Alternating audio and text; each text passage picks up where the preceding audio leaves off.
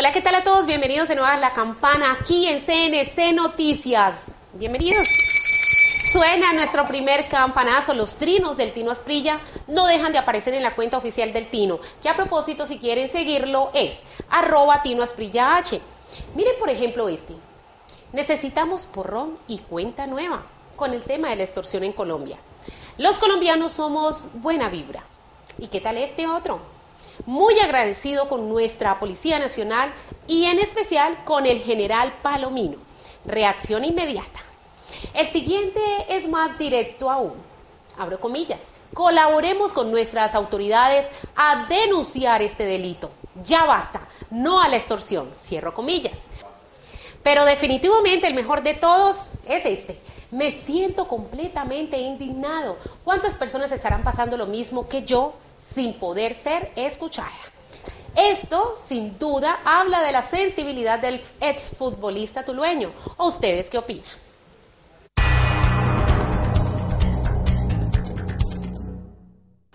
Bueno, señores, continuamos con más campanazos. Miren cómo puso de ejemplo al Tino el comandante de la Policía Valle, coronel Fernando Murillo, al hablar de él como un valiente por denunciar la extorsión. Miremos.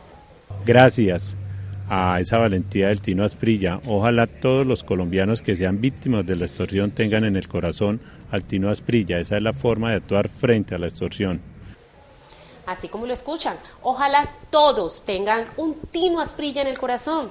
Vea pues, incluso en el boletín de la policía dice, ojalá, y todas las personas que son víctimas de este delito tuvieran un tino en el corazón. ¿Qué tal esa? ¿Mm? ¿Qué tal esa frase, señores? Está como para una campaña anti-extorsión, ¿no les parece?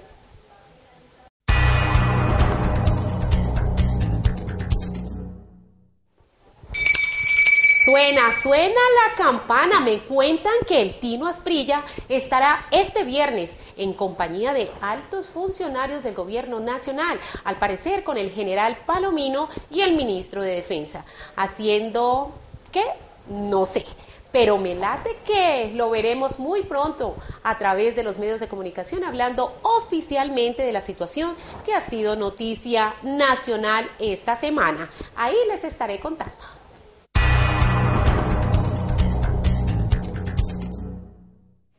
Bueno, señores, y antes de despedirnos, quiero enviar un saludo muy especial al señor Jairo Alonso Martínez Hurtado por su onomástico, está de cumpleaños hoy. Le deseamos un feliz día, que lo disfrute, que mi Dios le dé muchísimos éxitos en todas las cosas que haga, en todo lo que le depara el destino, y nada, que lo disfrute. Un beso y un abrazo para él. Es todo por hoy en la campana y también en nuestra emisión de noticias. Nos vemos mañana con muchísima más información. Los dejo con los hechos que fueron noticia.